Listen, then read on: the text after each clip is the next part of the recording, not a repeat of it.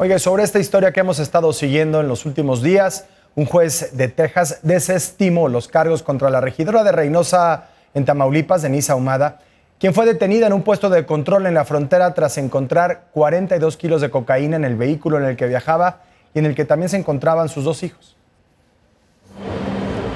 El sábado pasado, la regidora por el PAN en Reynosa, Tamaulipas, Denisa Humada, fue detenida al intentar cruzar el puesto de control de Falfurrias.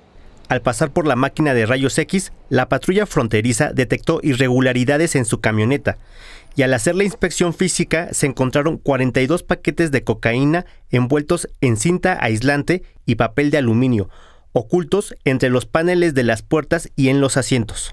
La funcionaria fue detenida y presentada ante un juez de McAllen, quien le negó derecho a fianza y ordenó su detención temporal.